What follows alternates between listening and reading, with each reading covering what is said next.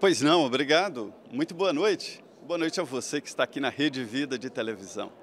Olha, todo mundo se pergunta por que o Michel Temer não tem uma base de sustentação forte aqui no Congresso Nacional. Ele é um craque da política, atende deputados e senadores com muita prioridade. A ordem aqui para a esplanada dos ministérios é de abrir as portas para as agendas das excelências do Congresso Nacional. Este é um governo de origem congressual e, por isso mesmo, tem um forte apoio entre deputados e senadores. Mas, mesmo assim, todo mundo foge quando a votação é importante.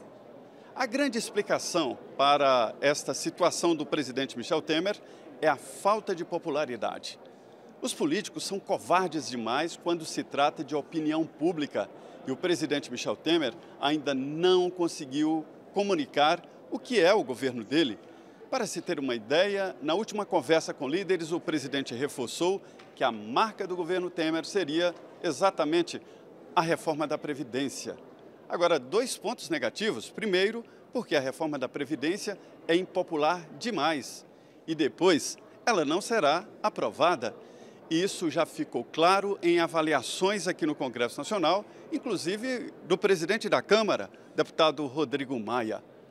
Ele diz que levar ao plenário a reforma da Previdência sem os 308 votos garantidos é levar o presidente Michel Temer a uma derrota desnecessária e um enfraquecimento ainda maior do governo. Portanto, o presidente Michel Temer, que coloca o governo dele como ponto único a reforma da Previdência, pode ficar até sem esta referência. E olha que dizem por aqui que o presidente Michel Temer pode se candidatar à reeleição para se defender das acusações contra ele que serão feitas durante a campanha. É aquele modelo Paulo Maluf em São Paulo, né? Se candidatar para fazer a defesa no horário eleitoral. De Brasília, José Maria Trindade.